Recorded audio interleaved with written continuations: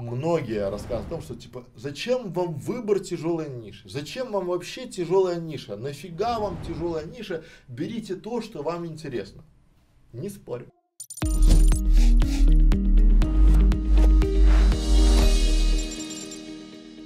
Финансы, ниша, ну, прям голова зачесалась, очень тяжелая. Я, потому что я работал в нише финансы и продвигал, да, нишу финансы. Там хорошие деньги, ниша тяжелая. А, допустим, какие-нибудь там интересные истории там, да, либо какие-нибудь там лайфхаки, там это просто, это просто интересно, весело, там, прям вот, да. Но, как говорит наш один подписчик, я люблю говорить, если бы было так легко, этим бы занимались бы все. И поэтому вот этих каналов в день миллион, ну, я условно цифру, да, а этих 10, ну, тяжелых. Потому что все хотят и рыбку съесть, и на велике покататься. Вот не бывает такого. Да? Надо понимать, что, что вот чем тяжелее вход, тем а, меньше там конкуренции. Вот это в любом, то есть бизнес в YouTube то же самое, один к одному. Вот смотрите, чем отличается, допустим, я от э, другого видео э, маркетолога.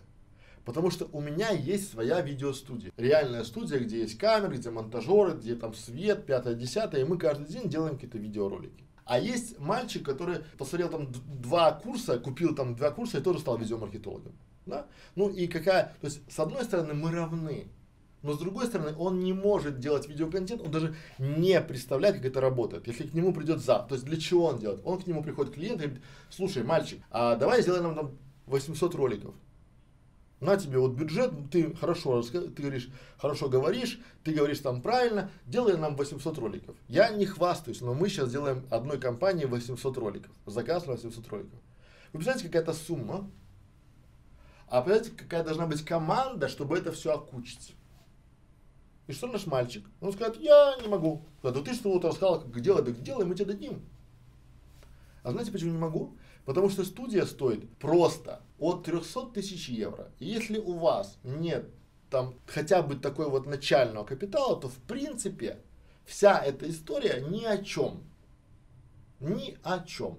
Я не говорю, что я такой архибогатый чувак. Друзья мои, я клянусь, я живу в съемном жилье и езжу на работу на троллейбусе. И когда я зарабатываю там, допустим, какую-нибудь там условную тысячу долларов, я не думаю, как купить мне машину или съездить на Таити, а думаю, как мне купить еще один мощный компьютер. Да, что это, это же там такое ядро будет, понимаете? Я инвестирую, реинвестирую постоянно, да, в свой коллектив, в свою студию, в свое детище, да, чтобы это была наша команда, чтобы ничего не нуждалось, и чтобы мы росли, становились еще лучше и лучше и лучше. Это чувствуется, понимаете? мне хорошо, и вам хорошо, и команде хорошо, и это штырит. Я понимаю, я реально, я реально знаю, что если у меня будет реально крутая студия и реально крутая команда, то заработать на машину мне это раз. А вот если у меня будет машина,